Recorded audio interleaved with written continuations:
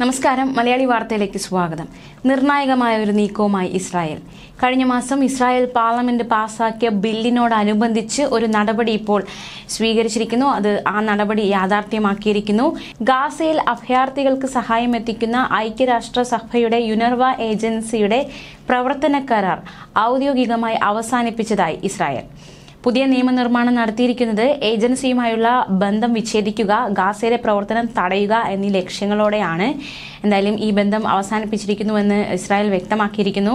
വടക്കൻ ഗാസയിൽ U N agency കൂടി പിൻവാങ്ങുന്ന സാഹചര്യമാണ് ഈ ഒരു തീരുമാനത്തോടെ ഇപ്പോൾ ഒരുങ്ങിയിരിക്കുന്നത്. സ്ഥിതി കൂടുതൽ അപകടകരമാകുന്നു എന്ന് തന്നെ മനസ്സിലാക്കാൻ സാധിക്കുന്നു. യു എന്നും വിവിധ ലോകരാജ്യങ്ങളും മുന്നറിയിപ്പ് നൽകിയിട്ടുണ്ട്. U S state secretary Antony Blinken ഇസ്രായേലിനോട് ആവശ്യപ്പെട്ടിരിക്കുന്നത് ഇപ്രകാരമാണ്.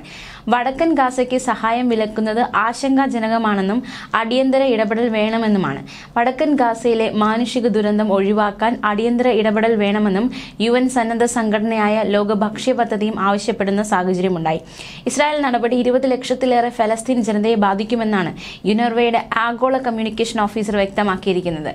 ഗാസയിലും ലബനാനിലും ഇസ്രായേൽ നടത്തിയ ആക്രമണങ്ങളിൽ ഇന്നലെ അമ്പതിലേറെ പേർ കൊല്ലപ്പെടുകയുണ്ടായി. ഗാസയിലെ കമാൽ അദ്വാൻ ആശുപത്രിയുടെ പ്രവർത്തനം ഏറെക്കുറെ പൂർണമായി നിലച്ചുവെന്നും ഗാസ ആരോഗ്യ മന്ത്രാലയം വ്യക്തമാക്കി.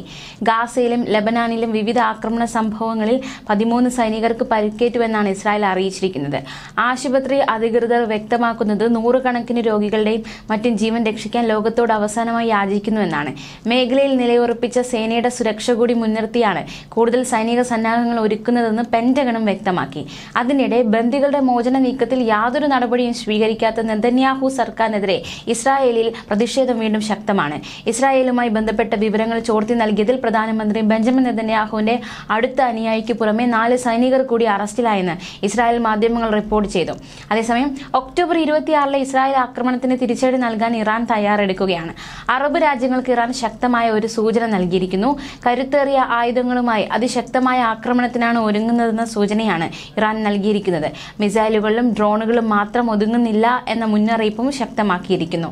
ഇറാൻ വിപ്ലവ ഗാർഡിനൊപ്പം തങ്ങളുടെ പരമ്പരാഗത സേനയും പ്രത്യാക്രമണത്തിൽ പങ്കെടുക്കുമെന്നും അറബ് നയതന്ത്ര പ്രതിനിധികളെ ഇറാൻ അറിയിച്ചു. അതിർത്തി രക്ഷാ ചുമതല ഉൾപ്പെടെ വഹിക്കുന്ന ആർടെഷ് അതായത് Islamic republic of Iran army സേനയും തിരിച്ചടിക്കിറക്കും എന്നാണ് വിവരം. സങ്കീർണവും ശക്തവുമായ ആക്രമണമായിരിക്കുമെന്നാണ് ഇറാൻ മുന്നറിയിപ്പ്. News desk Malayali Vartha.